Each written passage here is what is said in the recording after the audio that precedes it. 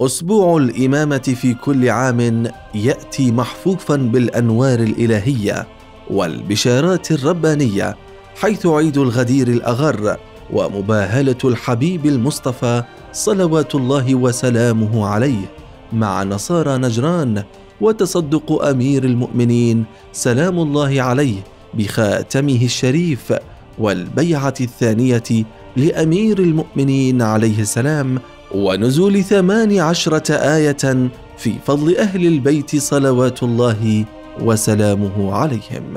لقد دهشت وأذهلت من من كل الأشياء الإيجابية في هذا المؤتمر.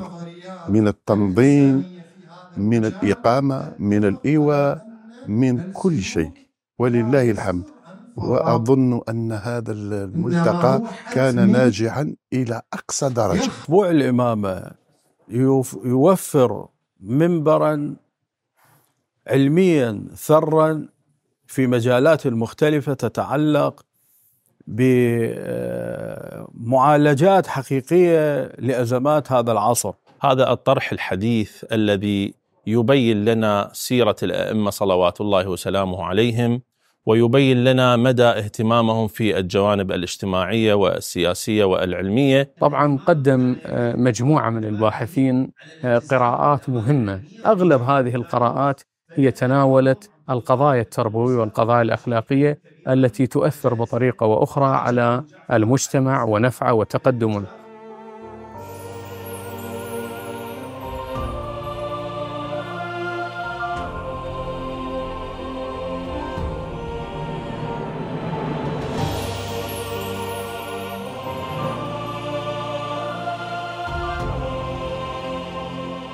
العتبة العباسية المقدسة. طبعا لها الريادة ليست في المؤتمر هذا وإنما لها الريادة في في الطباعة الكبيرة والتحقيقات والمطبوعات التي تنشر دائما.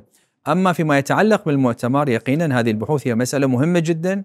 أولا لتوثيق هذه البحوث ثانيا لنشر هذه البحوث في المكتبات العامة والمراكز البحثية وثالثا نحن مقبلون على جيل يحتاج أن يتعرف على دينه على تراثه على عقيدته. عنوان بحثي هو خطاب الإمام الجواد عليه السلام قراءة في ضوء نظرية الفعل التواصلي لقد كان عنوان بحثي حول موضوع قبسات نورانية من حياة الإمام السجاد عليه السلام.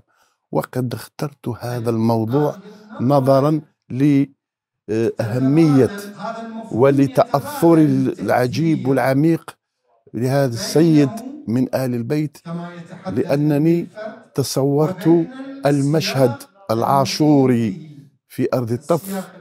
كان عنوان البحث المنهج الفكري والسياسي في عند الإمام الجواد عليه السلام وأثره في بناء الفرد والمجتمع.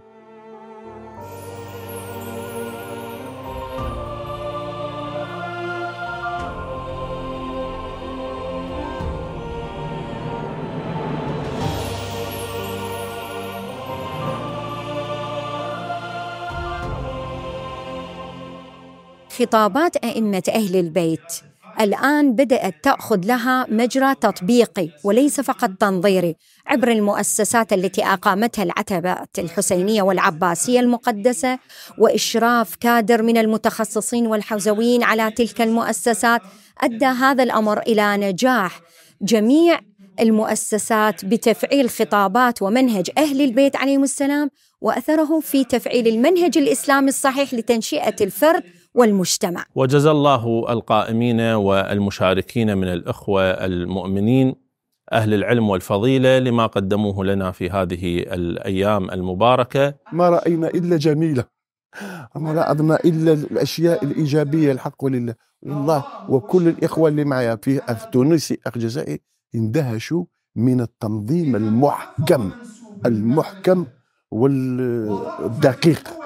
تهدف العتبة العباسية المقدسة من هذا الأسبوع إلى تحقيق جملة من الغايات المعرفية والتربوية منها استلهام التراث الإمامي في مخاطبة أبناء العصر وحل أزماته والتزود من الزاد المعرفي والإنساني لأئمتنا عليهم السلام ولا سيما في جوانب تربية الفرد وإصلاح الأمة وهو موضوع أسبوع الإمامة لهذا العام فضلا عن استحداث مكتبة معرفية تضم كل ما تجود به أقلام الباحثين ويجتهد فيه المبدعون.